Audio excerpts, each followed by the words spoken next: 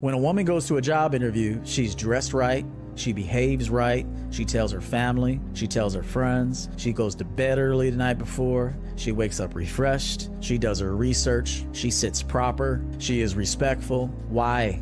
Two words selling herself. She's selling out of all of your applicants, out of everyone that you've interviewed, I'm gonna give you the type of energy, experience, behavior to demonstrate that I am the right woman for the job. Why do women not act like that when it comes to men and potential romantic situations? You know why? All because of you men. You don't require her to. Women act the fool and, and run amok and act crazy and act masculine, all this stuff because of you men. You tolerate bad behavior. You are, by and large, very feminine yourself.